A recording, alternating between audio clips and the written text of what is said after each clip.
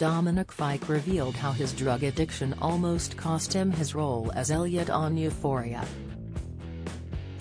The 27-year-old admitted, I was a drug addict, and coming on to a show mainly about drugs was very difficult. The actor disclosed how series creator Sam Levinson got him a sober coach to ensure somebody to be there all the time, however it did not work. Reflecting on season 2, he added, I was so FD up during a lot of that show, and that some of those scenes even made it to screens. I was a drug addict and coming on to a show that's, you know, mainly about drugs, is very difficult.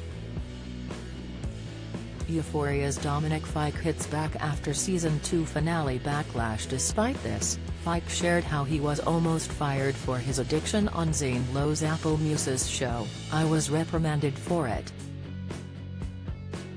I almost got kicked off the show. They took me aside. They were like, bro, you cannot be doing this.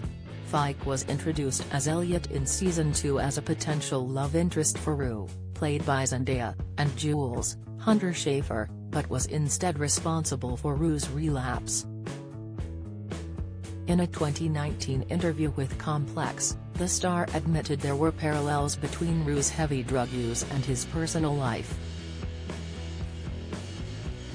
Don't miss, Tom Holland's unlikely skill that helped woo girlfriend Zendaya. Latest, Zendaya and Tom Holland enjoy date night at NBA playoffs. Photos, comedians at Edinburgh Fringe from Euphoria star to The Late Late Show regular, Insight. Fike candidly spoke about how his parents were in and out of jail due to drug addiction and that he also dabbled in substances during high school.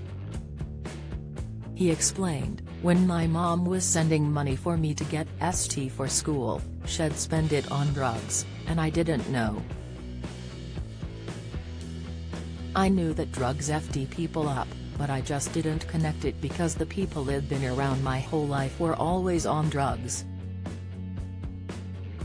As fans eagerly anticipate Euphoria's third season, Fike was confident the installment would reach expectations. Speaking on reuniting with co-stars, he added, it's going to be sick, adding he has a better dynamic with everybody now. Well, almost everybody, Fike remarked, likely referring to Schafer, who he recently ended a real-life relationship. However, he reassured listeners, I think it'll be fine, we're all adults. Kind of. I'm trying.